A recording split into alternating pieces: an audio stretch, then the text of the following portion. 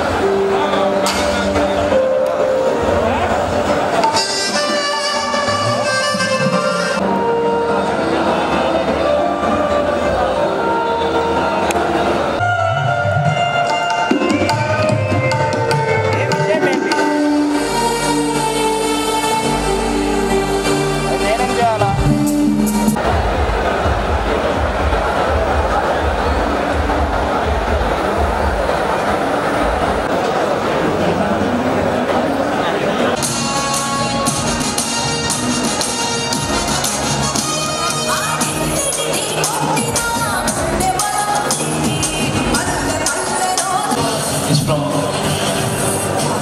background bias, inspirational people who actually wants this change of being changed.